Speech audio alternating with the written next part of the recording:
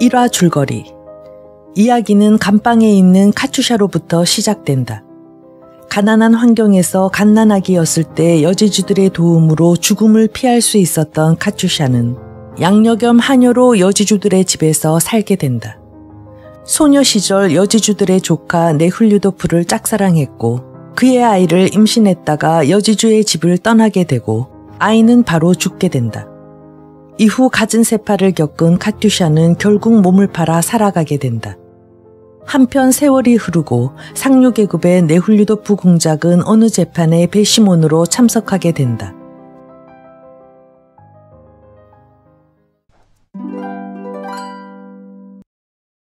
구 재판장은 배심원들에 대한 주의를 끝내자 피고에게로 얼굴을 돌렸다.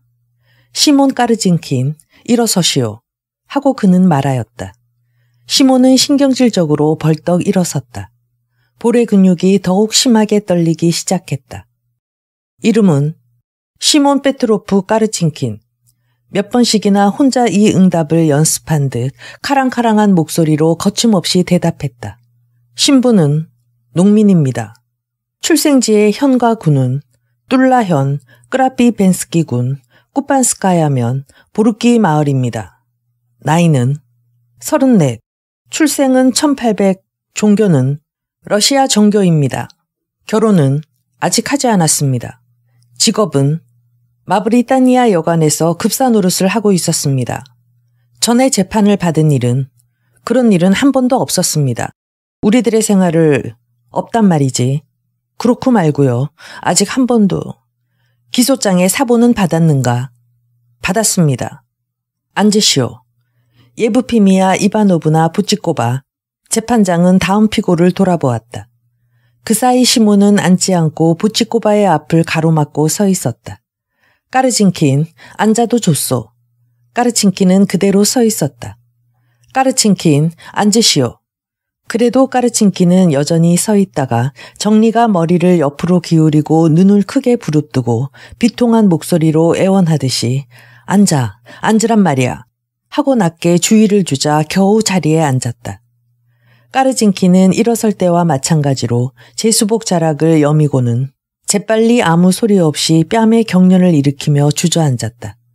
이름은 재판장은 피고의 얼굴은 보지도 않고 얼빠진 한숨을 내쉬며 테이블 위의 서류를 무엇인가 확인하려는 듯 뒤적이면서 물었다.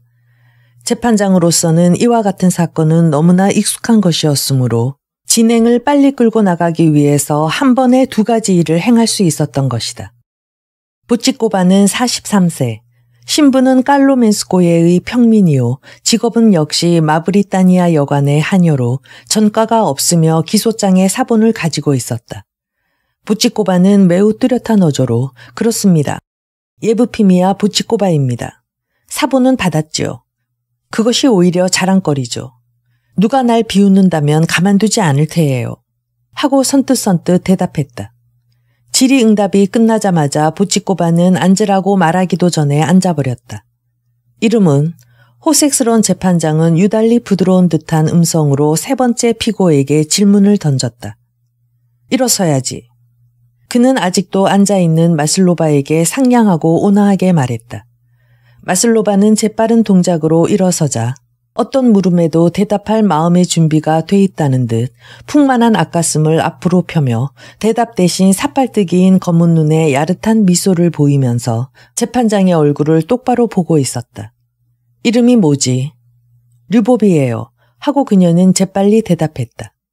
한편 네흘류도프는 코안경을 끼고 신문 받는 피고들을 차례로 바라보고 있었다. 아니, 그럴 리가 없어.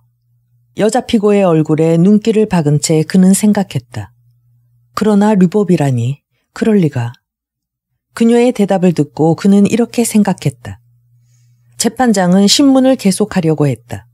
그러자 곁에 금태 안경을 낀 판사가 화가 난 듯 뭐라고 속삭이며 그를 제지했다. 재판장은 고개를 끄덕이고 피고 쪽을 보았다. 류법이라고 그는 말했다. 피고의 조서에 적힌 이름하고는 틀리지 않은가? 피고는 아무 대꾸도 하지 않았다. 난 피고의 본명을 묻고 있는 거야. 세례명은 뭐지? 하고 화가 난 판사가 말했다. 전에 까제리나라고 불렀어요. 아니, 그럴 리가 없어. 네흘류도프는 마음속으로 중얼거렸다. 그러면서도 그녀가 분명 마슬로바라는 것은 의심할 여지가 없음을 알았다. 한때 사랑을 했었던 그 여자.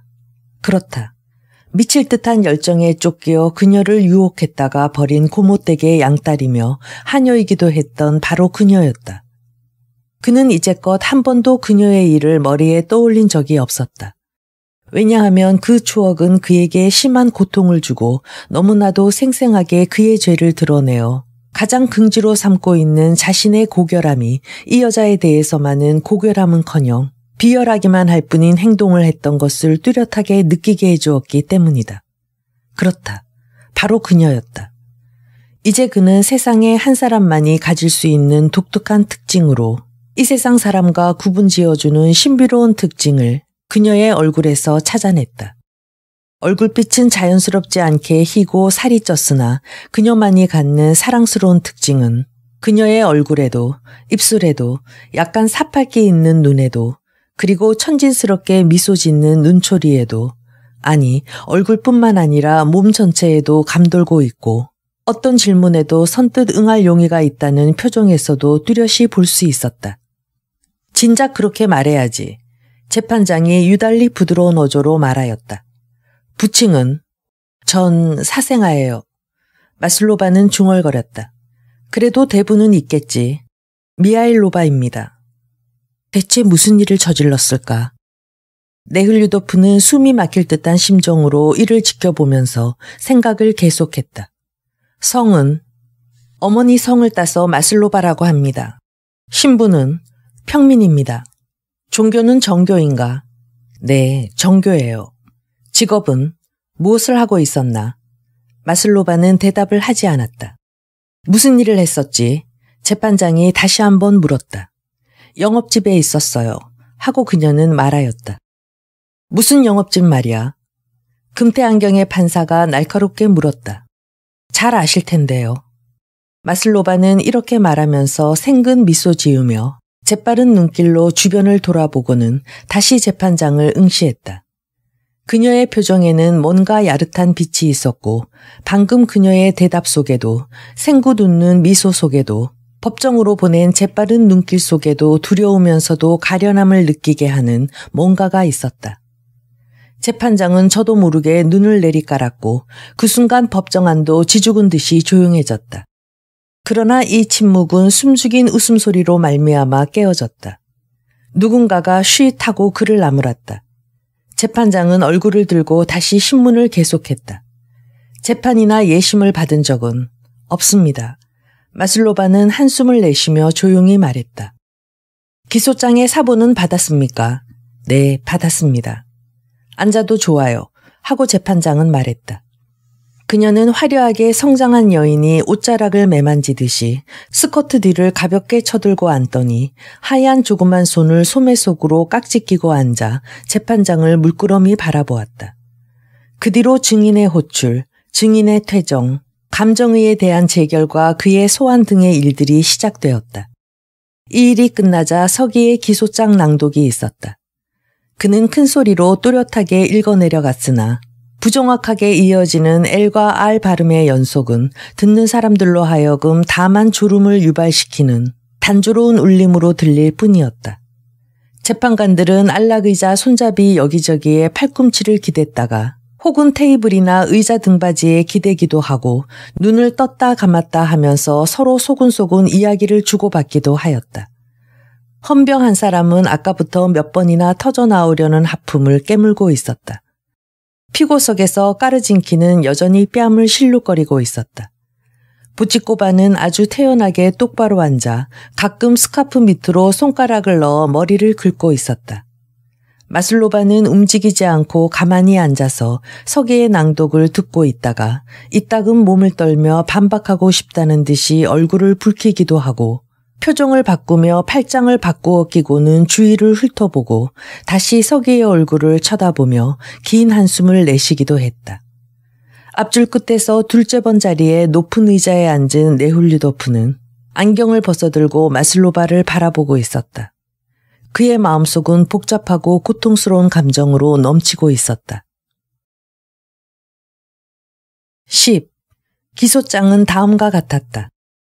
1880X년 1월 17일 호텔 마브리타니아의 주인은 그곳 숙박객인 시베리아의 제2계급 상인 페라폰트 예멜리아 노비치 스멜리코프의 급사를 경찰에 신고하였다. 그 당시 제4강구 경찰의는 검증 결과 그의 죽음을 알코올성 음료의 과음으로 인한 심장 파열이라고 사인을 규정지었다. 그리하여 스멜리코프의 시체는 죽은 지 3일 뒤에 매장되었다. 그러나 그가 죽은 지 나흘째 되던 날 스멜리코프와 같은 고향 사람이며 동업자인 상인 찌모힌이 빼제르부르크에서 돌아와 그가 죽게 된 원인을 탐지하고 그가 가지고 있는 돈을 목적으로 한 독살 혐의가 짙다는 의심을 나타냈다. 이 혐의는 예심에서 확인되어 다음과 같은 분명한 사실들이 밝혀졌다. 1. 스멜리코프는 은행에서 찾은 은화 3,800루블리를 가지고 있었다. 그것은 마브리타니아 여관 주인도 스멜리코프가 이곳에 도착한 뒤 거래한 스탈리코프의 점원도 알고 있었다. 스멜리코프가 이곳에 도착한 뒤 거래한 스탈리코프의 점원도 알고 있다. 그러나 스멜리코프의 죽음으로 봉인된 그의 소지품 목록에 의하면 그의 현금은 불과 312루블리 16코페이카밖에 되지 않았다. 2. 스멜리코프는 죽기 전날과 죽은 그날 밤을 매춘부 루브카, 본명 예카체리나 마슬로바와 함께 마브리타니아 여관에서 보냈는데 그 사이 그녀는 두 번 그의 방에 갔었다. 3. 이 여자는 스멜리코프가 가지고 있던 반지를 고용주에게 팔았다. 4.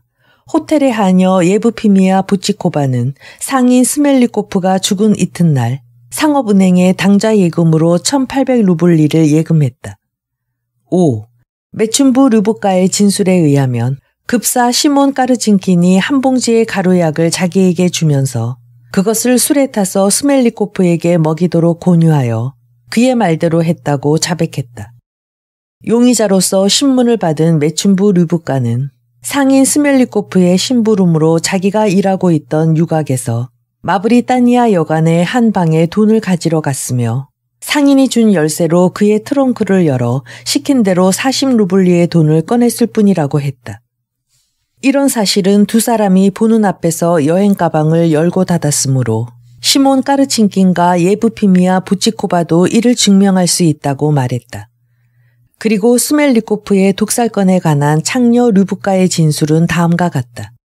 즉 그녀가 두 번째로 상인 스멜리코프의 방에 들어갔을 때 까르친킨의 곤에 못 이겨 무슨 가루약인가를 꼬냑에 타서 그에게 마시게 한 것은 사실이나 그녀는 그것을 단지 수면제라고 생각하여 그것을 먹고 잠이 들면 자기는 자유롭게 되리라 생각하여 그렇게 했다는 것이었다. 그러나 돈은 한 푼도 갖지 않았으며 반지 역시 스멜리코프가 때려서 그녀가 울면서 밖으로 나가려고 하자 스멜리코프 자신이 그녀에게 준 것이라고 했다. 피고로서 예심판사의 신문을 받은 예브피미아 부치코바와 시몬 까르친킨의 진술은 다음과 같다. 예브피미아 부치코바는 분실된 돈에 대해선 아무것도 알지 못하며 또 자기는 상인의 방에 들어가지도 않았다. 그 방에는 류브가 혼자 들어가곤 하였으므로 만약 상인의 돈이 없어졌다면 그것은 상인의 심부름으로 돈을 가지러 갔던 류브가의 지심에 틀림없다고 말했다. 이 대목이 낭독될 때 마슬로바는 몸을 떨며 어이없는 듯 입을 벌리고 부치코바를 바라보았다. 예부피미아 부치코바는 은행에 1800루블리 저금한 통장을 제시받고 이렇게 많은 금액이 어디서 생겼는지 묻자 그녀는 앞으로 결혼하기로 했던 시몬 까르친킨과 함께 12년 동안 모은 돈이라고 말했다.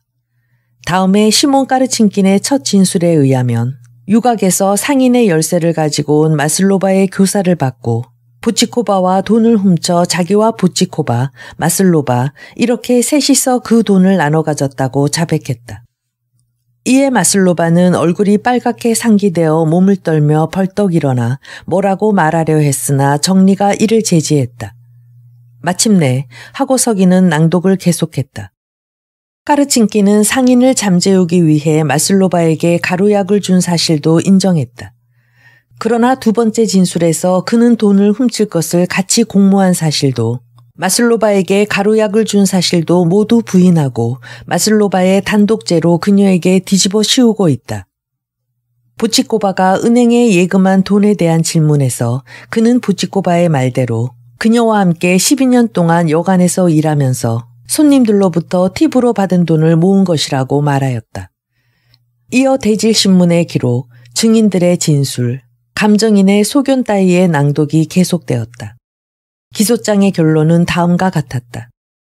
위 사실에 따라 보리키 마을의 농민 시몬 페트로프 까르친킨, 평민 예부피미아 이바노브나 부치코바 및 평민 예카제리나 미하일로브나 마슬로바는 1880X년 1월 17일 서로 공모하여 상인 스멜리코프의 돈 2,500루블리와 반지 한 개를 훔치고 살해할 목적으로 그에게 독약을 먹여 죽게 하였으므로 이를 유죄로 인정한다. 이 범죄는 형법 제1453조 제4항 및 제5항에 해당되는 것으로 형사소송법 제201조에 의거하여 농민 시몬 까르친킨, 평민 예부피미아 부치코바, 평민 예카제리나 마슬로바를 배시몬이 참가하는 지방재판소의 공판에 회부하는 바이다. 서기는 기소장의 긴 낭독을 마치고 나자 서류를 접고 두 손으로 자기의 긴 머리칼을 쓸어 올리면서 자기 자리에 앉았다. 이제부터 심리가 시작되면 모든 사실은 드러나 정의가 이기고 말리라는 유쾌한 의식을 저마다 가지면서 안도의 숨들을 내쉬었다. 그러나 네흘류도프만은 예외였다. 그는 10년 전에 그토록 천진하고 귀여웠던 소녀가 어떻게 그런 무서운 짓을 저지르게 되었을까 하는 공포에 휩싸여 있었던 것이다. 기소장의 낭독이 끝나자 재판장은 판사들과 의논한 다음 표정을 고치고는 까르친킨 쪽으로 몸을 돌렸다.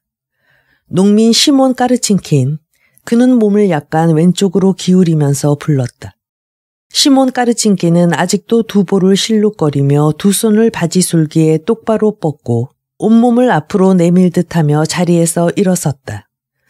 피고는 1880X년 1월 17일 예부피미아 부치코바, 예카제리나 마슬로바와 공모하여 상인 스멜리코프의 가방에서 그가 가지고 있던 돈을 훔치고 비소를 가지고 와 마슬로바로 하여금 이것을 술에 타서 스멜리코프에게 마시게 하여 그를 죽이게 한 죄로 기소되었다. 피고는 이러한 사실을 유죄로 인정하는가? 재판장은 이렇게 말하고 몸을 다시 오른쪽으로 기울였다. 천만의 말씀. 저의 일은 단지 손님에게 봉사해 드리는 그런 말은 나중에 하시오. 피고는 자신의 죄를 인정하는가? 아닙니다. 전 절대로, 저는 그저 그런 말은 나중에 하시오. 피고는 자신의 죄를 인정하는가? 재판장은 부드러우면서도 단호하게 말했다. 그렇게는 할 수 없습니다. 왜냐하면 또다시 정리가 그의 곁으로 달려와 침통한 목소리로 소근거려 그를 제지시켰다. 재판장은 이것으로 질문을 끝냈다는 듯한 표정으로 서류를 든 팔꿈치의 위치를 바꾸며 예부피미아 부치코바 쪽으로 몸을 돌렸다. 예부피미아 부치코바, 피고는 1880X년 1월 17일 동료 시몬 까르친킨과 예카제리나 마슬로바와 함께 여간 마브리타니아에서 상인 스멜리코프의 가방에서 돈과 반지를 훔쳐내어 그것을 셋으로 나누어 가진 다음 그 사실을 숨기기 위해 상인 스멜리코프에게 독약을 먹여 죽게 한 혐의로 기소되었다. 피고는 이 사실을 인정하는가? 저는 아무 죄도 없습니다. 하고 피고는 분명하고 단호한 어조로 말하였다. 저는 방 안에 들어가지도 않았어요. 들어간 건 저 못된 계집이니 전현이 한 짓이 틀림없습니다. 그런 말은 나중에 해.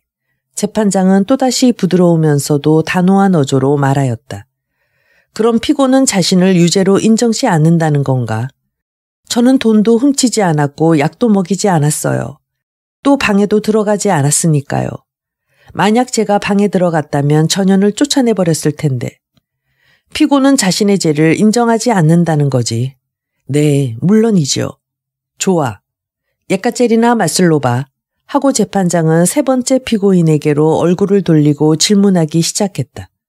피고는 상인 스멜리코프의 열쇠를 가지고 마브리타니아 여관방으로 가서 여행 가방에서 현금과 반지를 훔쳐내어 하고 재판장은 마치 학과라도 외듯이 줄줄 말하면서 한편으로 증거품 목록 중에서 약병이 하나 빠져 있다고 보고하는 왼쪽 옆자리 판사의 말에 귀 기울이고 있었다. 그 여행 가방에서 돈과 반지를 훔쳐내어 하고 재판장은 다시 되풀이하였다.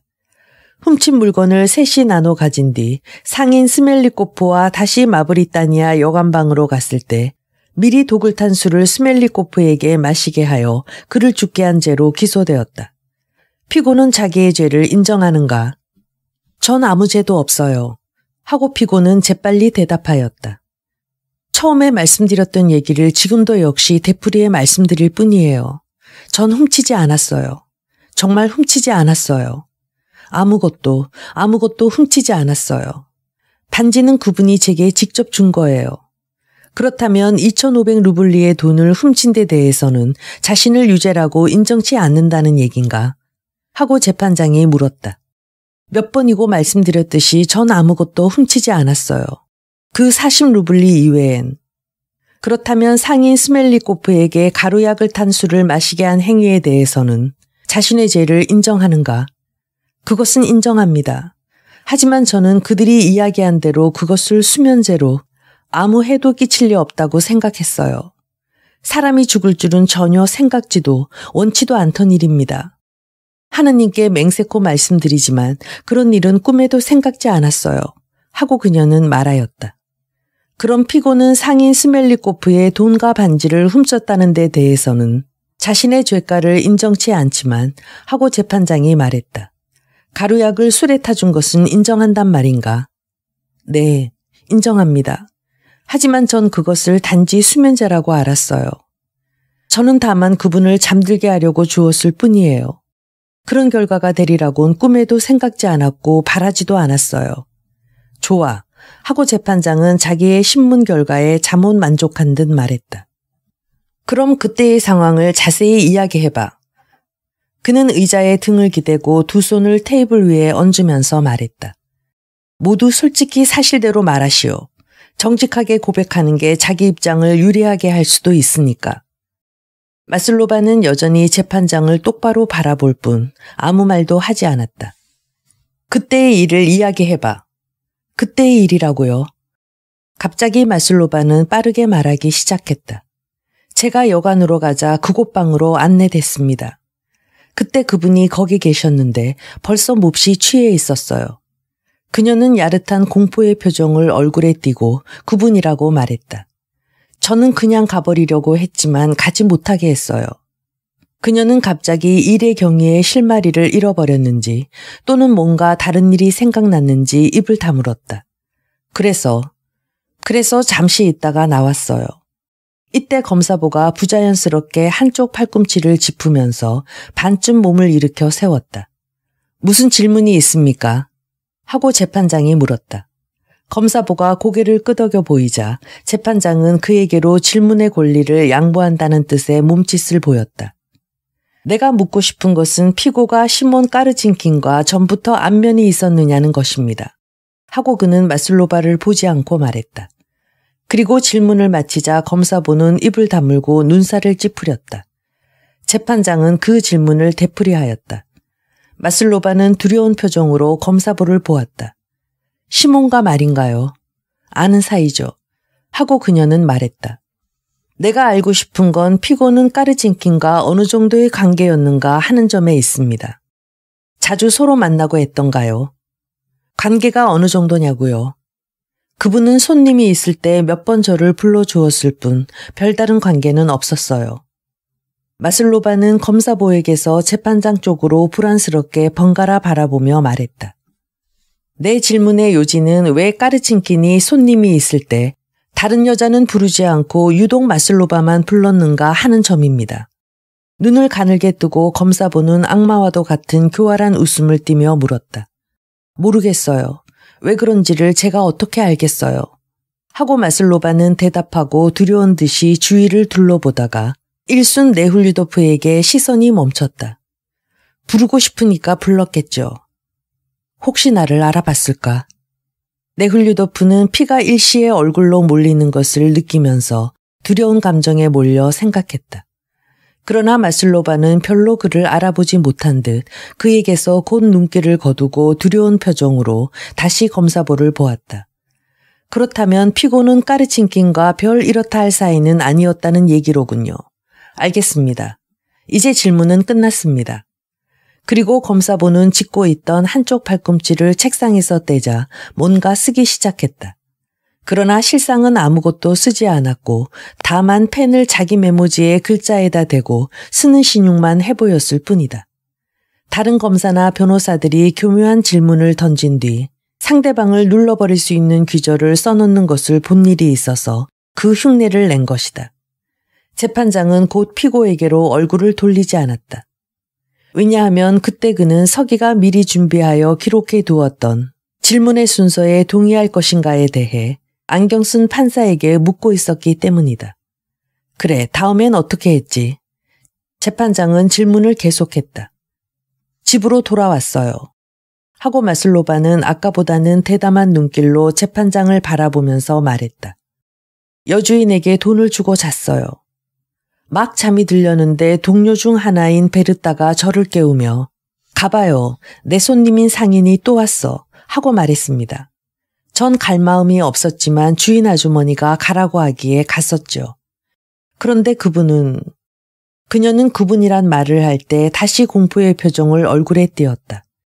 그분은 저희 동료들에게 술을 사주고 더 사주려고 술을 청했어요.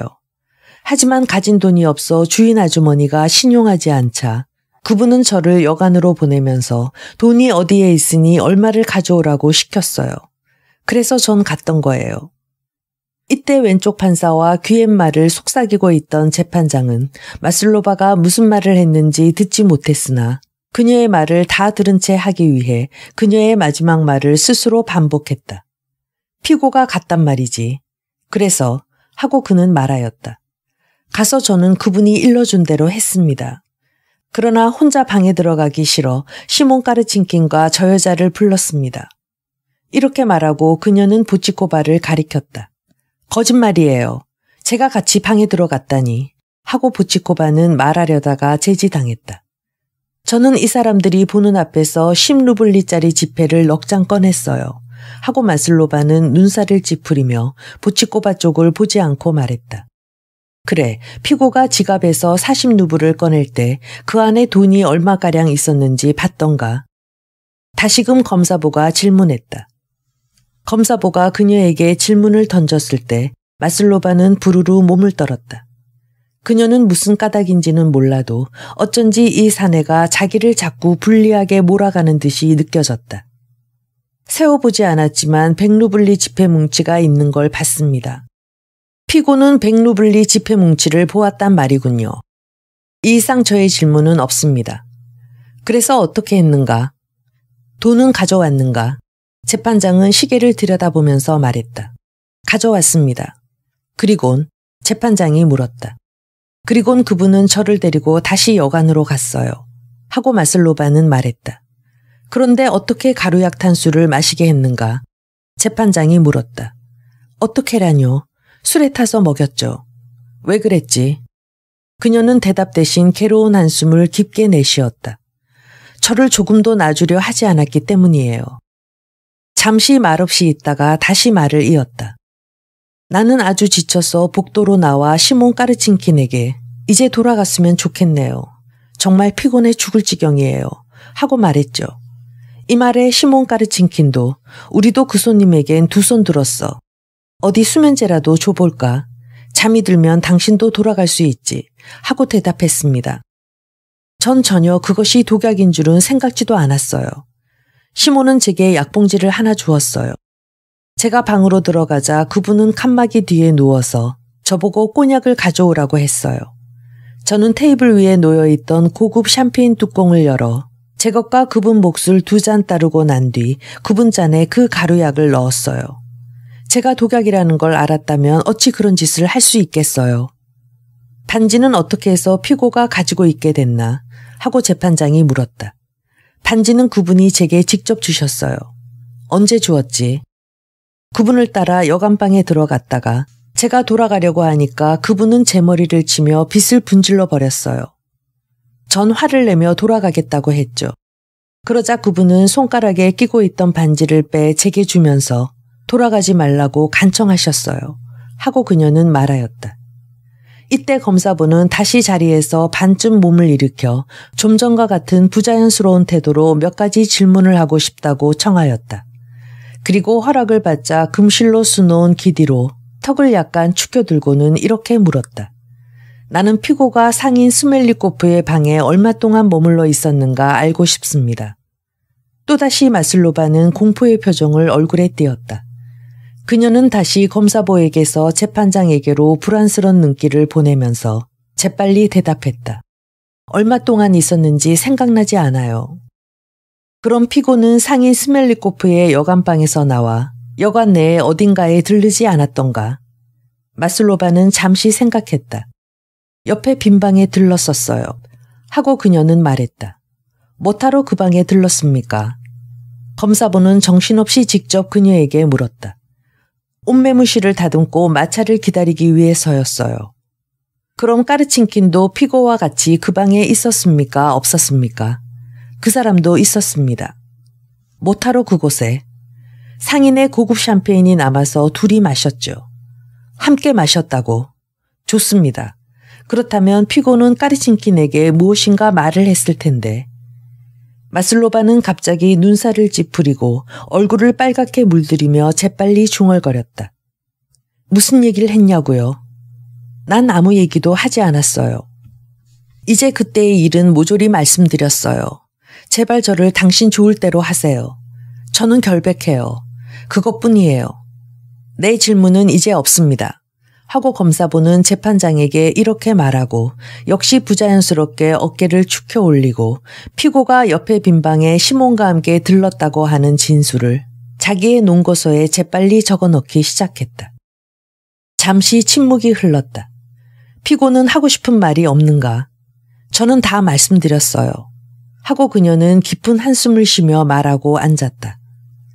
그러고 나자 재판장은 뭔가를 서류에 쓰며 왼쪽에 앉은 판사가 하는 귀옛말을 들은 뒤에 10분 동안의 휴정을 선언하고 일어나 성급히 퇴정하였다. 재판장에게 한 왼쪽에 앉은 큰 키에 수염이 더부룩하고 선량한 눈을 가진 판사의 귀옛말은 다름이 아니라 약간 속이 좋지 않아 마사지를 하고 무약을 좀 마시고 싶다는 것이었다. 그가 재판장에게 귀옛말로 청하여 그의 청대로 재판장은 휴정을 선언한 것이다. 재판관들이 나가고 나자 이어 배시몬과 변호사, 증인들도 모두 일어나 이제 중요한 문제의 일부분을 끝냈다는 일종의 안도감을 느끼면서 저마다 뿔뿔이 흩어졌다. 네hul리도프는 배시몬 대기실로 들어가 창가에 앉았다. 12. 그렇다. 그것은 카츄샤였다. 네hul리도프와 카츄샤의 관계는 다음과 같은 것이다. 네울류도프의 대학 3학년 때 토지 사유에 관한 논문을 준비할 겸 여름을 고모네 집에서 보내기 위해 갔을 때 처음으로 카츄샤를 만났었다. 그는 해마다 모스크바 교회에 있는 어머니 소유의 큰 영지에서 누이와 함께 여름을 보내곤 했다. 그러나 고모네 집에 가게 됐던 그 해에는 누이는 결혼을 했고 어머니는 외국의 온천지로 휴양하러 가고 없었다. 네훌류도프는 논문을 써야 했기 때문에 여름을 고모네 집에서 보내기로 했다. 고모들이 사는 시골은 조용했고 자기의 마음을 가라앉혀 주었다. 더구나 그녀들은 상속자인 이 조카를 무척이나 아껴주었고 그 또한 고모들을 따르고 그들의 고풍스러운 소박한 생활을 마음에 들어 했다. 고모네 집에서 보낸 그의 여름은 네흘류도프에게 넘칠 듯한 감정을 맛보게 해주었다. 그것은 청년이 처음으로 다른 사람의 간섭받음이 없이 자기 스스로 인생의 아름다움과 중요성을 인식하고 인생이 인간에게 지어준 사명의 완전한 의가 무엇인지 깨달았으며 자기와 전 세계와의 끝없는 완성 추구의 가능성을 발견하고 그것에 희망을 느꼈을 뿐만 아니라 자기가 품고 있던 그 완성을 성취시킬 수 있다는 뚜렷한 자신을 가지고서 이에 몰두함으로써만이 맛볼 수 있는 그런 감동이었다. 그 해에 그는 학교에서 스펜서의 사회평형론을 탐독했었는데 그 자신 대지주의 아들로 상속자인 만큼 스펜서의 토지 사유로는 그에게 특히 큰 감명을 주었다. 아버지는 그다지 부유하지 않았으나 어머니가 지창금으로 결혼할 때 1만 제사지나의 토지를 가지고 왔다. 그는 그때 겨우 토지 사유가 잔혹하고 이치에 어긋나는 행위임을 알았다. 천성적으로 도덕적 요구를 위해서라면 어떠한 희생이라도 마다 않고 그에서 정신적 만족을 느끼는 그런 사람 중에 하나였던 네훌류도프는 토지의 상속권을 상속받지 않기로 마음먹고 아버지의 유산으로 상속받은 토지를 농민들에게 나눠주었다. 그리고 그는 바로 이것을 주제로 논문을 쓰고 싶었다. 그해 여름 그가 고모네 집에서 보낸 생활은 다음과 같은 계획에 의해서 진행되었다. 새벽 일찍이 때로는 3시경 아침 안개가 자욱한 속에 비탈진 산기슭에 있는 강으로 목욕을 하러 갔다가 해 뜨기 전 풀잎이나 꽃잎 위에 아직도 이슬방울이 맺혀 있을 때 집에 돌아오기도 했다. 이따금 아침 커피를 마시고 난 다음 책상 앞에 앉아서 논문을 쓰거나 참고서적을 읽는 때도 있었으나 대부분의 시간을 거의 읽고 쓰는 대신 집 밖으로 빠져나와 들과 숲속을 산책하는 데 보냈다. 점심을 하기 전에 그는 뜰한 나무대 서고 낮잠을 즐기기도 하고 식사 때에는 자신의 쾌활한 성격으로 고모들을 즐겁게 해주기도 하고 웃기기도 했다. 그런 뒤에는 승마를 하거나 보트를 타기도 했다. 밤에는 또 책을 읽거나 고모들과 어울려 트럼프 놀이를 하기도 했다. 거의 매일 밤, 특히 달빛이 아름답게 비치는 밤이면 잠을 이루지 못했다. 그것은 가슴 설레게 하는 커다란 인생의 기쁨을 가득 느끼기 때문이었다. 그럴 때면 자신의 공상과 사색에 젖어 동틀 무렵까지 뜰을 거닐곤 했다. 고모네 집에서 보낸 처음 한 달 동안 그는 이토록 평화롭고 행복하게 보냈다. 그는 이때 반은 하녀이며 반은 양딸이기도 한 까만 눈동자의 약삭 빠른 카츄샤를 전혀 의식하지 못했었다. 19살이었던 그때 어머니의 슬라에서 자라난 네훌류도프는 아직 순진한 젊은이였다. 물론 여성에 대한 공상도 하지만 단지 자기 아내로서의 여성에 대한 것으로 한정되어 있었다. 그에게는 다른 모든 여자들, 즉 자기와 결혼할 수 없는 여성은 그에겐 여성이 아닌 단지 인간에 불과하다고 생각하였다. 그런데 그 여름, 그리스도 승천절에 우연히 이웃에 살고 있는 여지주가 아이들과 자기 집에서 지내고 있는 농부 출신의 젊은 화가를 데리고 놀러 왔다. 차를 마신 뒤 모두들 풀베기가 끝난 집 앞 잔디밭에서 술래잡기를 하며 놀게 되었다. 카츄샤도 끼게 되었다. 짝이 서로 몇 번인가 바뀐 다음 네훌류도프와 카츄샤는 한 짝이 되어 달아나게 되었다. 네훌류도프는 카츄샤를 보면 마음이 즐거워지기도 했으나 자기와 그녀와의 사이에 어떤 특별한 관계가 생기리라는 건 상상 밖의 일이었다. 아니, 이 두 사람은 쉽사리 잡을 수가 없겠는걸. 하고 순례가 된 쾌활한 화가는 짧고 구부러지고 튼튼한 농민다운 다리로 매우 빨리 달릴 수 있었는데도 이렇게 말했다. 넘어지기라도 하면 좋겠어. 당신이 술래인가요? 우리가 잡힐라고요. 하나, 둘, 셋. 화가는 손뼉을 세 번 쳤다. 카츄샤는 재빨리 화가의 뒤에서 네훌류도프와 자리를 서로 바꾼 뒤 그녀의 거친 조그마한 손으로 네훌류도프의 큼직한 손을 움켜쥐자 풀먹인 스커트를 버석거리며 왼쪽으로 달렸다. 네훌류도프도 재빨리 뛰었다. 화가에게 지고 싶지 않았으므로 필사적으로 뛰었다. 뒤돌아보니 화가가 카츄샤를 쫓고 있었다. 그러나 그녀는 있는 힘을 다해 탄력 있는 그녀의 젊은 다리를 민첩하게 움직이며 화가를 피해 왼쪽으로 달아나고 있었다. 그녀가 달리는 앞쪽으로 라일락이 무성했다. 아직 그 뒤로는 아무도 달아난 사람이 없었다. 그런데 카츄샤는 네훌류도프를 돌아보고는 라일락 숲 뒤에서 만나자고 고개를 끄덕여 보였다. 그녀의 신호를 알아차리고 숲 뒤로 달려갔다. 그런데 그 숲 뒤에는 뜻밖에도 쇠기풀로 덮여 있는 도랑이 있었다. 그는 이 도랑에 발뿌리가 부딪혀 넘어지고 쇠기풀에 두 손을 찔리고 초저녁 이슬에 손을 축축히 적셨다. 그러나 그런 자신의 꼴에 웃으면서 얼른 몸을 일으켜 마른 곳으로 나왔다. 카츄샤는 윤기 있는 까만 눈을 빛내고 밝은 미소를 지으면서 그에게로 달려갔다. 그들은 서로 달려와선 손을 마주 잡았다. 어머나, 찔리셨군요. 하고 카츄샤는 한쪽 손으로 따느린 머리채를 매만지며 가쁜 숨을 몰아쉬면서 웃음진 얼굴로 네훌류도프를 쳐다보며 말했다. 저런 곳에 도랑이 있는 줄은 뜻밖인 걸. 그녀의 손을 꽉 쥔 채 그도 웃어 보이며 말했다. 카츄샤는 그에게로 가까이 다가섰다.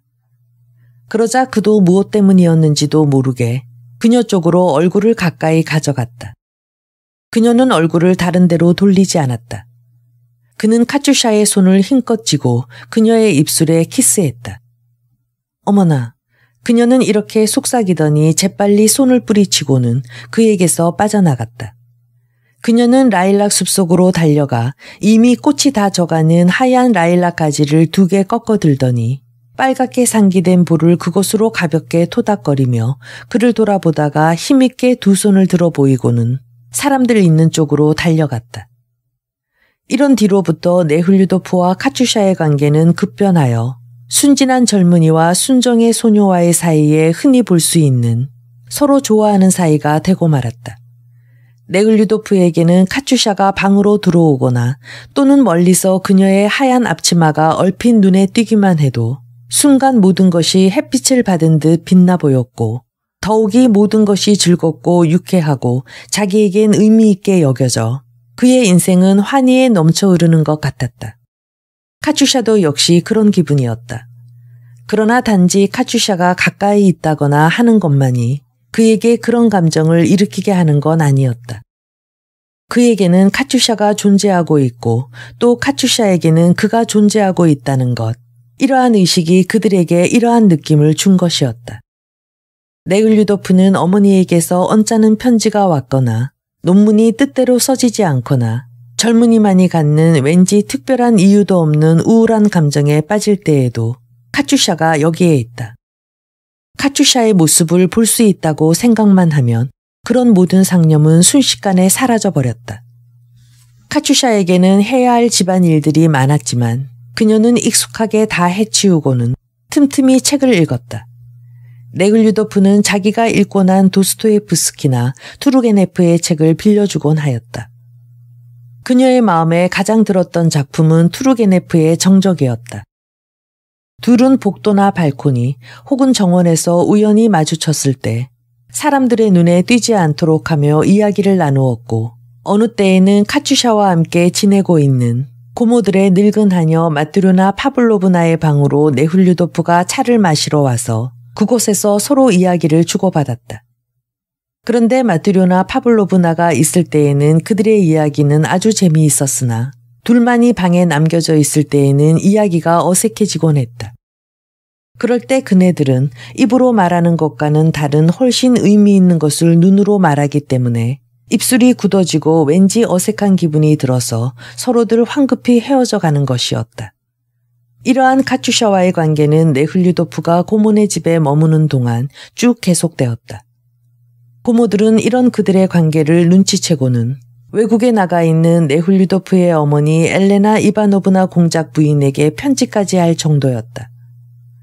그의 고모 마리아 이바노브나는 네흘류도프가 혹시 카츄샤와 육체관계까지 맺지 않았는가 싶어 은근히 염려스러워했다.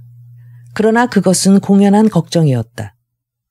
그런 것을 알지 못하는 가운데 순진한 애정으로 카츄샤를 사랑하고 있던 네흘류도프의 사랑은 오히려 그에게 있어서나 그녀에게 있어서 그들의 타락을 막는 커다란 방패가 되었다. 그는 한 번도 그녀의 육체를 소유해 보고 싶은 욕망을 가져보지 않았을 뿐 아니라 그녀와의 그런 관계가 가능성 있다라는 생각만으로도 그는 두려움을 느꼈다.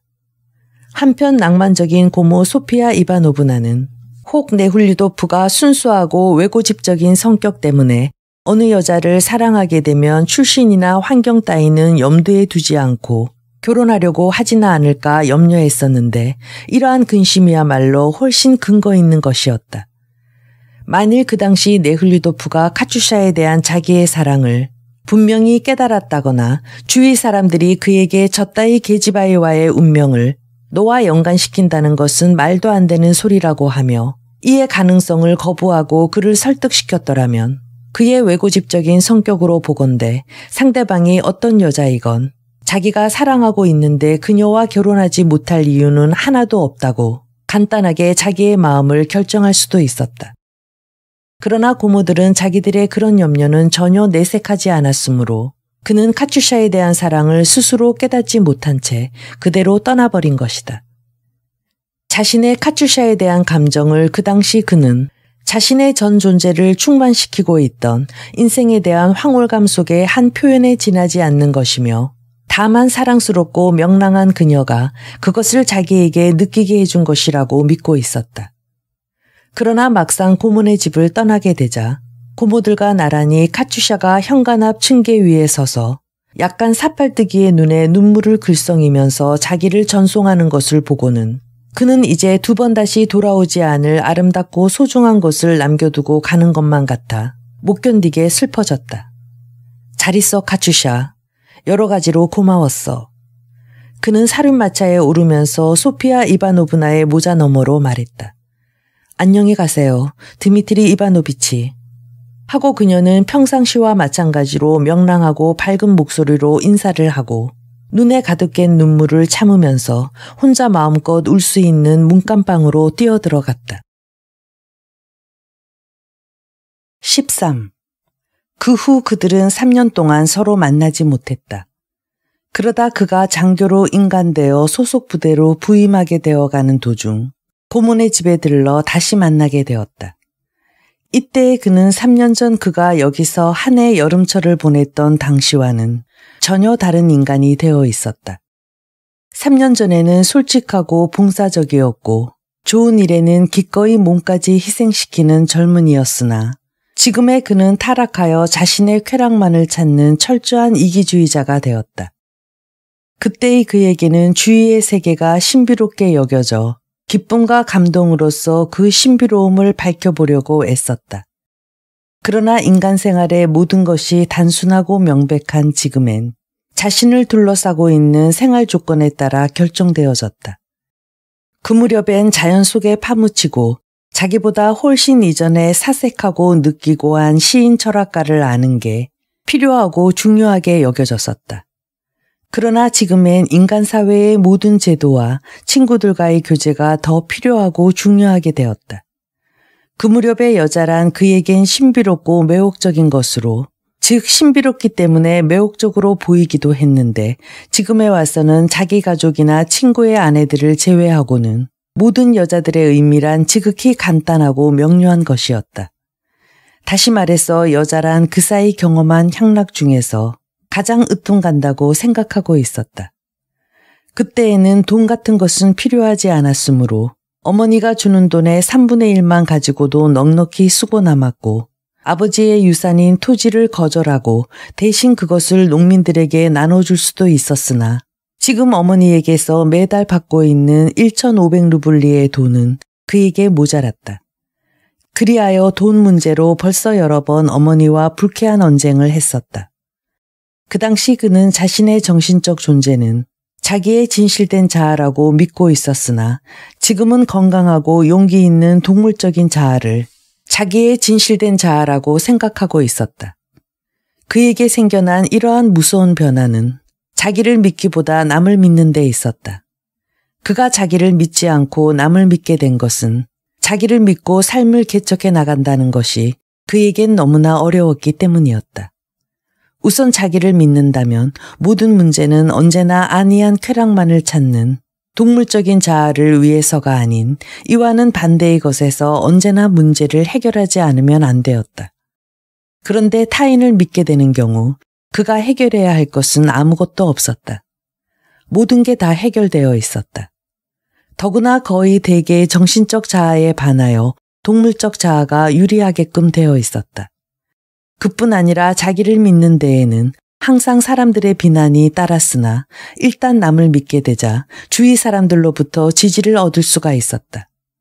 이를테면 네흘류도프가 신이라든가 진리, 부, 가난에 대해서 생각하거나 읽거나 말하거나 하면 주위 사람들은 이를 당찬게 사리에 맞지 않은 웃음거리로 여겼다. 심지어 어머니와 고모들까지도 이를 점잖게 놀리는 표현으로 그를 우리 철학 선생이라고 부르기도 했다. 그런데 그가 소설을 읽든가 외설스러운 이야기를 하거나 프랑스 극장의 우스꽝스러운 희극을 보고 그 얘기를 재미있게 들려주거나 할 때면 모두 그를 칭찬하고 축켜 세워주는 것이었다. 그러나 그가 자신의 욕망을 억제할 필요를 느끼고 낡은 외투를 입거나 술을 마시지 않거나 하면 모두 이를 의아하게 여기고 일종의 허용이라고들 여겼다.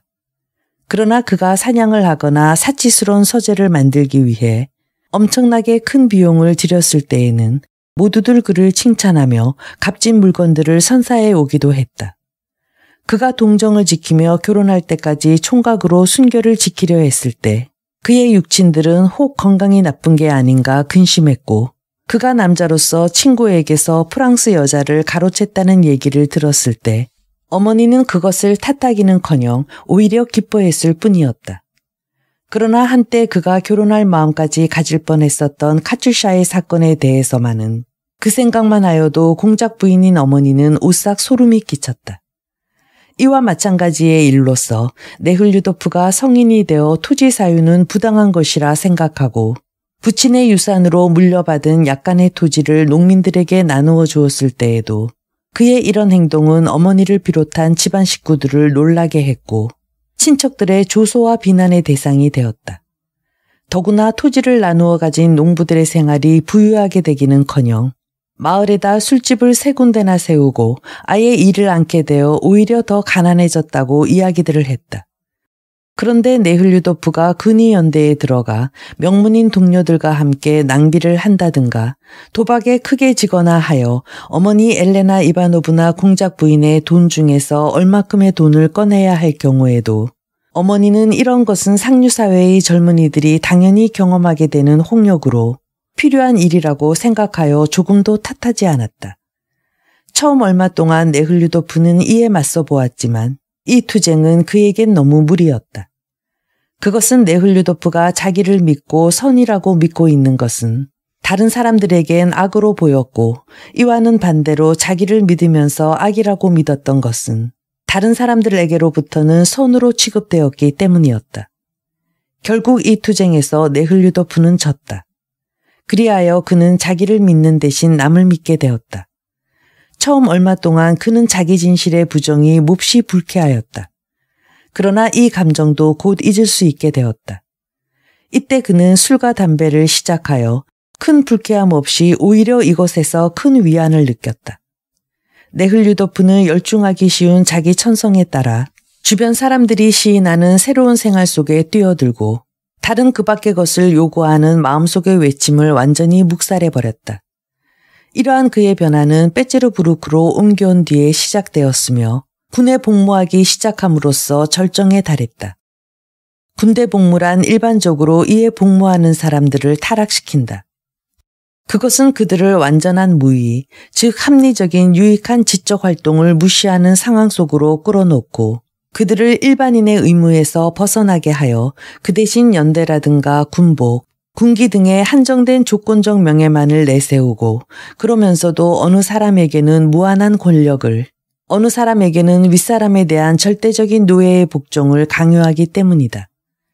그러나 명문 집안의 부유한 장교들만이 선택되어 근무할 수 있는 근위 연대에서 볼 수 있듯이 군복이며 군기 숭배라든가 폭력이나 살인의 용인이 따르는 군대 복무의 일반적인 타락에 덧붙여 황족과 가까이 지낸다는 우월감이라든가 재정적인 것으로부터 생기는 타락이 더해질 경우 이 환경 속에 빠진 인간들은 완전한 에고이즘의 광란 상태에 이르게 되고 만다.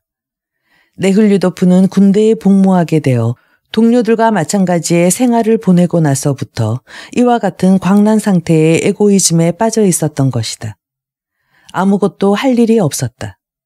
자기 손에 의해서가 아니라 다른 사람의 손에 의해서 훌륭하게 만들어지고 손질된 군복을 입고 군모를 쓰고 역시 남의 손에 의해 만들어지고 손질하여 제공된 칼을 차고 역시 남의 손에 의해 훈련되고 사육된 말을 타고 자기 동료들과 같이 교련이나 사열을 한다든가 말을 달리고 군도를 휘두르고 총을 쏘거나 또 이런 일들을 다른 사람들에게 가르치는 것 이외에는 별로 일이 없었다.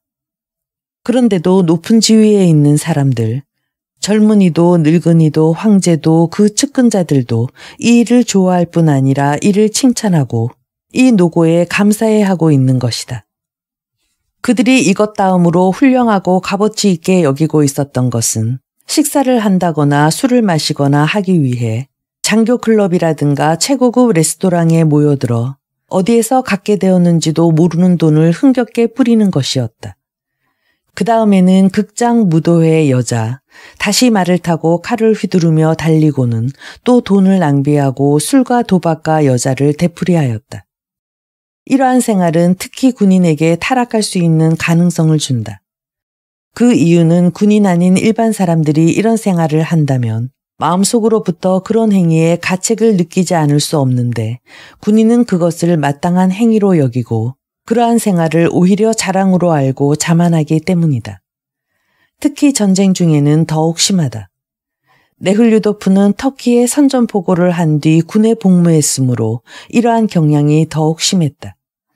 우리는 전장에서 생명을 바칠 각오가 되어 있다. 그러므로 우리에겐 이러한 안이하고 즐거운 생활이 허용될 뿐 아니라 필요한 것이다. 그래서 우리는 이렇게 생활하고 있는 것이다. 네훌류도프는 자기 생애의 그 시절에는 막연하게 이렇게 생각하고 있었다. 그리고 그는 이제껏 지켜온 모든 도덕적 장애에서 벗어나게 된 기쁨을 느끼면서 항상 광란적인 에고이즘의 만성적인 증세에 빠져들고 있었다. 3년 만에 네흘류도프가 고문의 집에 들렀을 때 그는 바로 이런 상태에 있었던 것이다. 14.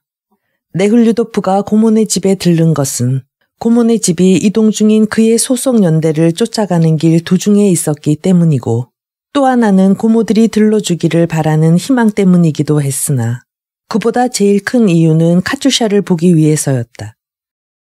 어쩌면 벌써 그의 마음 한구석에는 카투샤에 대한 좋지 않은 의도가 있었는지도 몰랐다. 그를 묻고 있던 것에서 풀려나온 동물적 자아가 그에게 줄곧 그럴 것을 속삭였는지도 모른다. 그러나 그는 그런 자기의 의도를 알지 못했다. 단지 즐겁게 보냈던 그곳에 잠시 들러서 언제나 애정과 기쁨의 분위기 속으로 그를 이끌어 감싸주던 좀 우스꽝스럽긴 하나 상냥하고 부드러운 고모들을 만나고 그리고 그에게 즐거운 추억을 남겨준 사랑스러운 카투샤를 만나고 싶다는 심정뿐이었다. 그가 고모네 집에 도착한 것은 3월 말, 일요일에 부활절을 앞둔 금요일인 그리스도 순환의 날이었다. 눈이 녹아 땅이 지렀고 비까지 세차게 쏟아져 온몸이 흠뻑 젖어 온통 얼어버렸으나 그 무렵엔 언제나 그러했지만 원기왕성하였다. 카투샤는 아직도 거기 있을까? 지붕에서 떨어진 눈이 가득 쌓이고 벽돌담으로 둘러싸인 낯익은 고모 네의 구식 저택의 뜰 안으로 마차를 몰고 들어가면서 그는 이렇게 생각하였다. 그는 마차의 방울 소리를 듣고 카투샤가 현관 밖으로 달려 나오리라 기대했으나 한여방의 문 앞에 나온 것은 마루를 훔치고 있었던 듯 옷자락을 걷어올리고 양동이를 든 맨발의 두 하녀였다. 저택의 정면에서도 그녀는 눈에 띄지 않았다. 하인 찌혼만이 역시 청소를 하고 있었는지 앞치마를 걸친 채 마중 나와 주었을 뿐이었다. 비단 옷을 입고 실내물을 쓴 소피아 이바노브나가 현관으로 나왔다. 정말 반갑구나. 잘 와주었어. 하고 그에게 키스하며 소피아 이바노브나는 말하였다. 마센카는 몸이 좀 좋지 않단다. 교회에서 지친 모양이다. 우린 성찬식에 다녀왔거든. 축하합니다, 고모님. 네울류도프는 고모 손에 입술을 갖다 대면서 말했다. 죄송합니다. 온통 고모님 옷을 적셔버려서 자, 어서 방으로 들어오너라. 옷이 흠뻑 젖었군 그래. 벌써 수염이 다 나고. 카츄샤, 카츄샤, 커피를 빨리 내오너라. 네, 곧 가져가요. 하고 귀에 익은 명랑한 목소리가 복도 쪽에서 들려왔다. 네훌리도프는 기쁨으로 가슴이 두근거렸다. 있구나. 마치 태양이 구름 사이로 얼굴을 내비치기라도 한 것 같았다. 네훌리도프는 즐거운 기분으로 찌온에게 안내되어 전에 있던 자기 방으로 옷을 갈아입으러 들어갔다. 네울류도프는 찌온에게 카투샤가 그동안 어떻게 지냈고 뭘 하고 있었는지 그리고 혼인 이야기는 없었는지 묻고 싶었다. 그러나 지나치게 공손하고 정중한 데다 나리의 손에 직접 물을 부어드리겠다고 고집을 부리는 등 딱딱하고 고집스러워서 카투샤에 대한 궁금증을 풀 용기를 잃고 그의 손자들과 형님이라 불리는 늙은 말이며 집을 지키는 볼칸에 대해서 물었다. 모두들 건강하게 잘들 지내고 있었으나 볼칸만이 지난해에 광견병으로 죽었다고 했다. 비에 젖은 옷을 벗고 새 옷을 갈아입으려고 할 때 네훌류도프는 젠 발걸음 소리를 들었다. 이윽고 문 두드리는 소리가 들렸다. 네흘류도프에게는 그 발걸음 소리도 놓고 하는 소리도 귀에 익은 것이었다. 그러한 걸음걸이나 그렇게 놓고 하는 건 그녀뿐이었다. 그는 젖은 외투를 걸치고 문 쪽으로 갔다. 들어와요. 그것은 그녀 카츄샤였다. 그녀는 예전 그대로였고 전보다 더 예뻐졌다. 예전과 같이 미소를 띤 천진스러운 약간 사팔기가 있는 까만 눈으로 그를 올려다보고 있었다. 그때와 같이 역시 깨끗한 흰 앞치마를 두르고 있었다.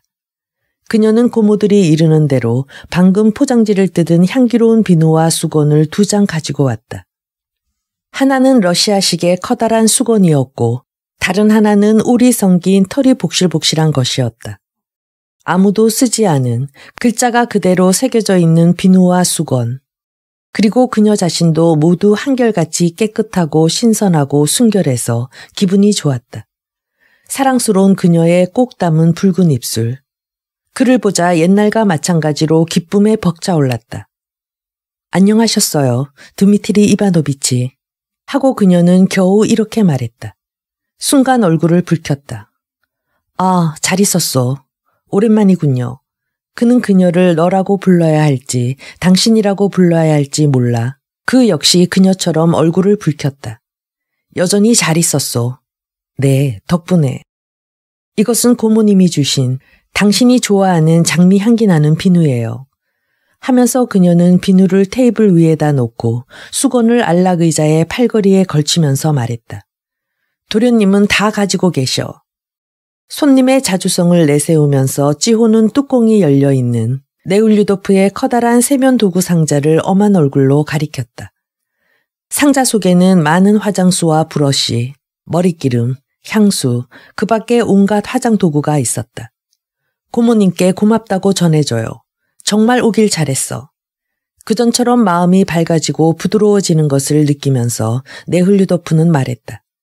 이 말에 그녀는 미소를 지어 보일 뿐 밖으로 나가버렸다. 평소에도 고모는 네흘류도프를 사랑하고 있었으나 이번에는 여느 때보다 더욱 반갑게 그를 맞아주었다.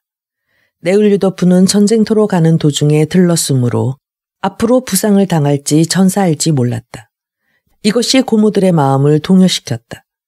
네울류도프는 고모네 집에서 하룻밤만 묵을 예정이었으나 카투샤를 보자 그는 이틀 후에 있을 부활제를 여기서 지내기로 하고 아데사에서 만나기로 한 동료인 샘보코에게 고모네 집에 들러줄 것을 전보로 쳤다. 네울류도프는 카투샤를 다시 만난 첫날부터 그녀에 대한 옛날과 똑같은 감정을 느꼈다. 지금도 예전처럼 카투샤의 하얀 앞치마만 봐도 가슴이 설레었고 그녀의 발소리나 목소리, 웃음소리를 듣기만 해도 기쁨을 느꼈다.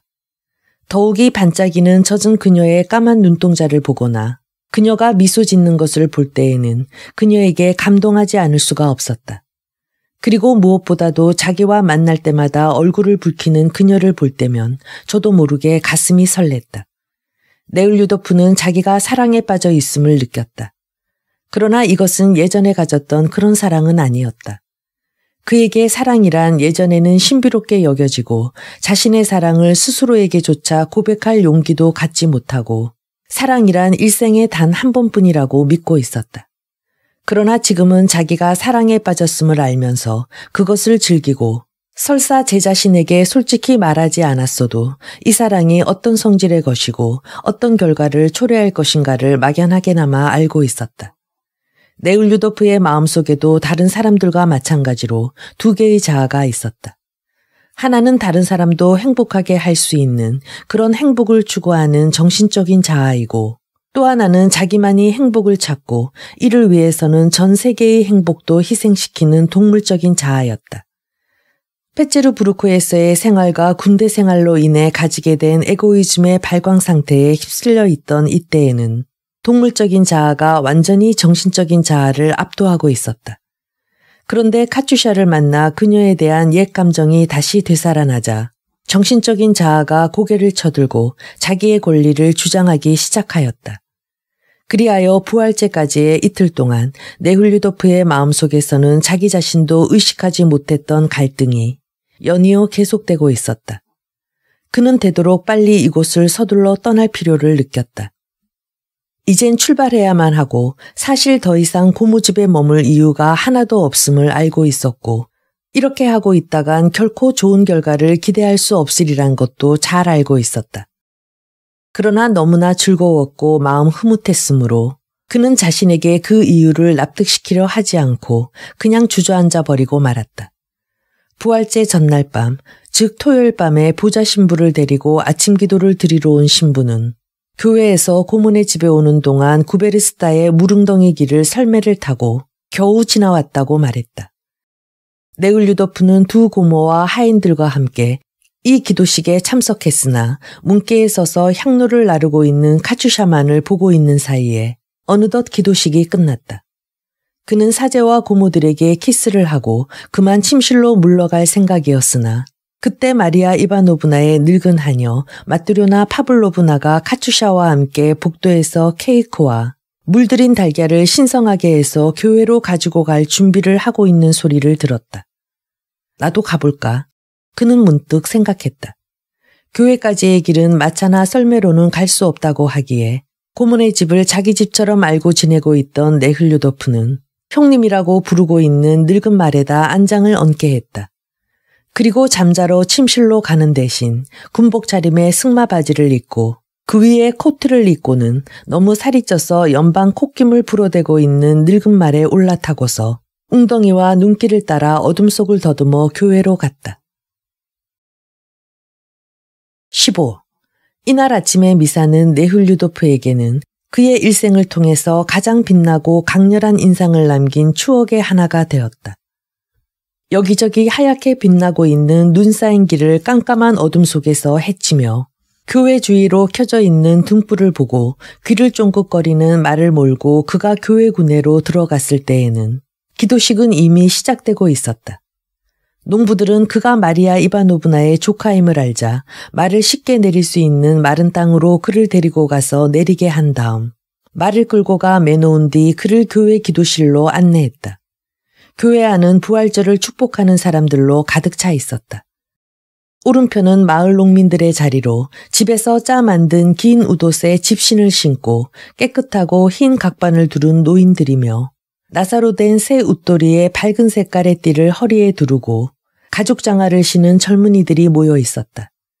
왼편은 여자들의 자리로 그녀들은 빨간 비단 수건을 머리에 쓰고 소매가 달리지 않은 빌로도 옷을 걸친 밑으로 새빨간 소매에 푸른빛, 초록빛, 빨간빛 등 갖가지 빛깔의 스커트를 내보이고 편자가 달린 구두를 신고 있었다.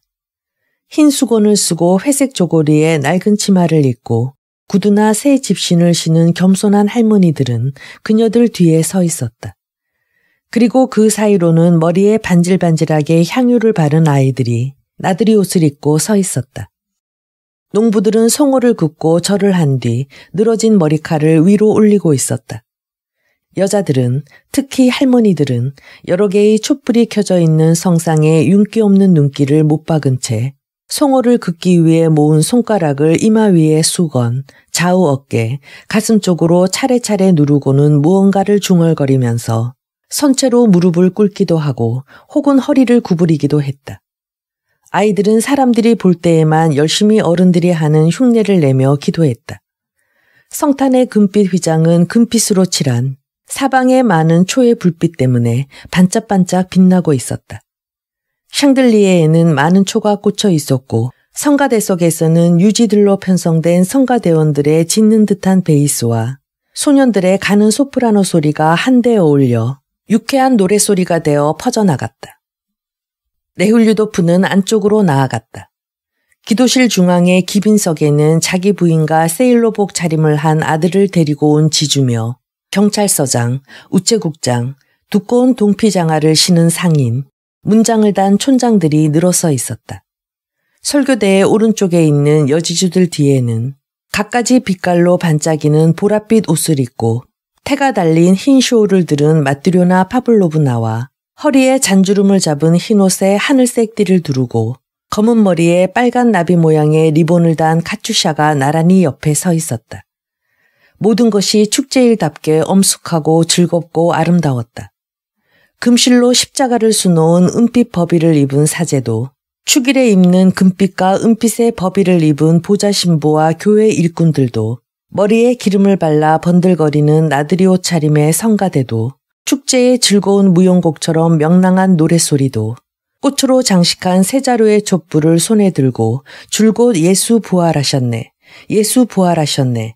하며 무사람들에게 주는 사제들의 축복도 모두가 그지없이 아름다웠다. 그러나 무엇보다도 가장 아름다웠던 것은 흰옷에 하늘색 띠를 두르고 까만 머리에 빨간 나비 리본을 단 환희의 눈을 빛내고 있는 카츄샤였다. 네흘류도프는 그녀가 움직이지 않고 앞쪽만 보고 있었으나 자기를 보고 있다는 것을 알고 있었다. 그가 재단 쪽으로 가기 위해 그녀 곁을 지나갈 때 그는 그것을 느꼈다. 그는 아무 할 말이 없었으나 잠깐 생각이 나서 곁을 지나치면서 이렇게 그녀에게 말했다. 고모님은 마지막 기도식이 끝나면 잔치를 열 모양인가 봐. 언제나 그를 볼 때마다 그렇듯이 지금도 젊은 피가 그녀의 사랑스러운 얼굴에 붉게 피어올랐다. 까만 두 눈에 기쁜 듯 미소를 담고 수줍은 듯 네훌류도프를 쳐다보았다.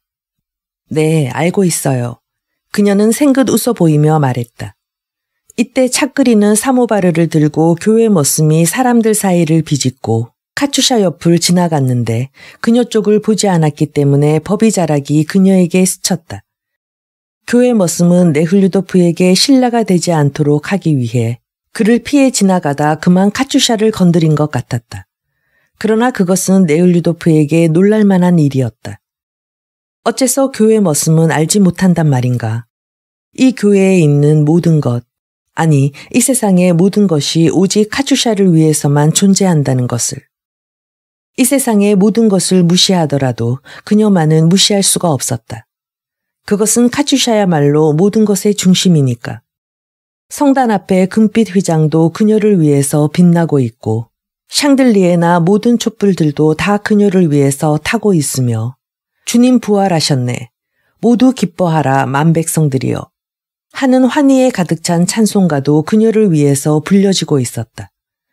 이 세상에 존재하는 진기한 모든 것들은 다 그녀를 위해 존재하는 것이었다. 카츄샤 역시 세상 모든 것이 자기를 위해서 존재하고 있다고 알고 있는 것처럼 네을류도프에게는 여겨졌다. 맵시 있게 주름 잡은 새하얀 옷에 감싸인 그녀의 모습이며 환희에 빛나는 그녀의 얼굴을 바라보고 또 그녀의 표정으로 미루어 보건대 자기가 마음속으로 부르고 있는 것과 똑같은 노래를 그녀도 마음속으로 부르고 있다는 것을 느꼈을 때 그에겐 그렇게 생각되었던 것이다. 네훌류도프는 기도식 처음과 마지막 기도식이 진행되는 중간에 교회 밖으로 나왔다. 사람들은 그에게 길을 내주면서 인사를 했다. 그가 누구인지 알아보는 사람도 있었고 저분은 누구야 하고 묻는 사람도 있었다. 교회 문 앞으로 나오자 그는 잠시 멈춰섰다. 거짓대들이 몰려와 그의 주변을 둘러쌌다. 그는 지갑 속에 잔돈을 나누어 주고 계단을 내려갔다. 이제 만물을 알아볼 수 있을 정도로 날이 밝았으나 그러나 아직 태양은 떠오르지 않았다. 교회 주위에 있는 묘지 여기저기에 사람들이 앉아 있었다.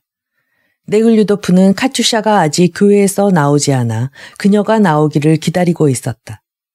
밖으로 사람들이 줄지어 나왔다. 포석 위로 구두징 소리를 울리며 교회 계단을 내려오자 모두들 저마다 교회의 뜰과 묘지 쪽으로 흩어져들 갔다.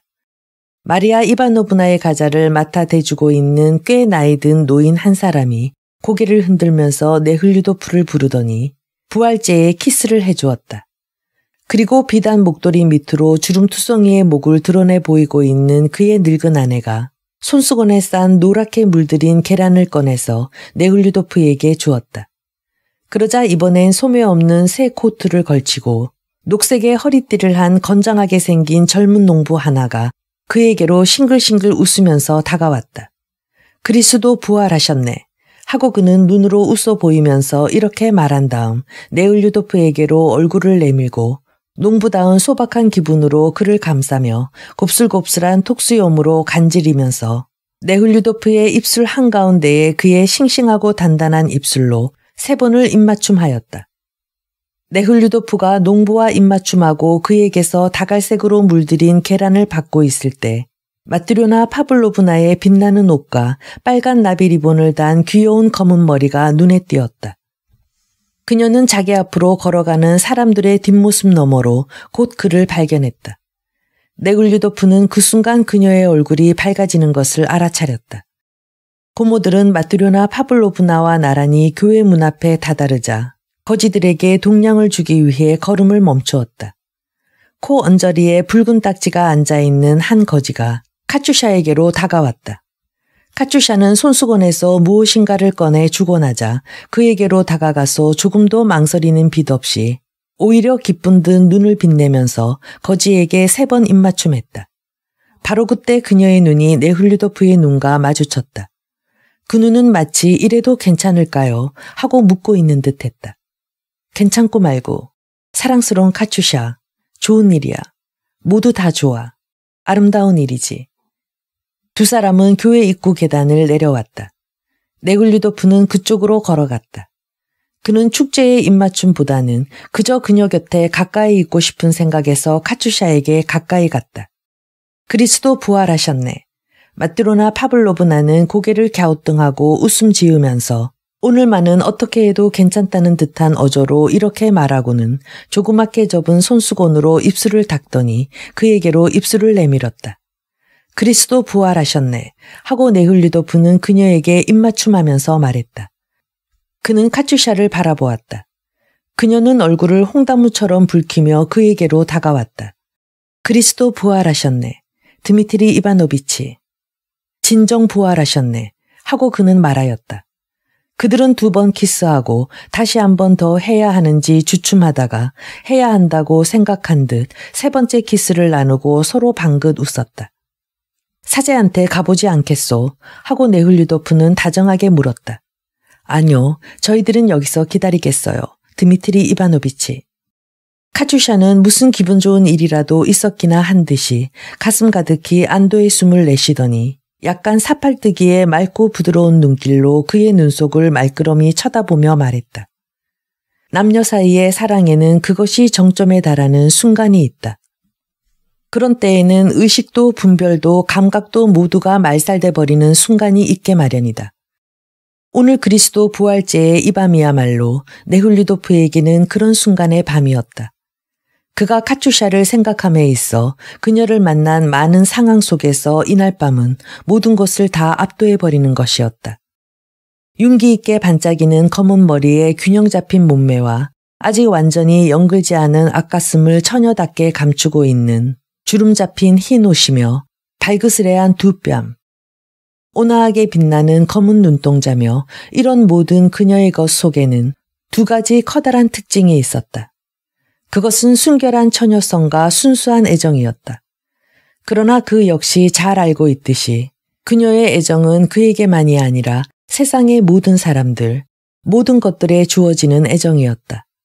그것은 이 세상에 존재하는 좋은 것에만 돌려지는 사랑이 아니고 그녀와 입맞춤한 아까의 저 거지에게까지도 나눠지고 있는 그런 사랑이었다. 그는 그녀에게 그러한 사랑이 깃들어 있음을 알고 있었다. 그 까닭인즉 자기 자신 역시 이 밤과 아침에 그러한 애정이 자기 속에 있음을 깨달았기 때문이다. 그는 이 애정으로 그녀와 자기가 그 속에서 하나로 결합되었음을 의식하였기 때문이다. 아, 모든 것이 그날 밤 지니고 있었던 그 감정 그대로 머물러 있었다면. 그랬다. 그 무서운 일은 그리스도 부활제가 있었던 후에 생겼던 것이다. 네훌리도프는 지금 배심원 대기실 창가에 앉아 이런 생각에 잠겨 있었다.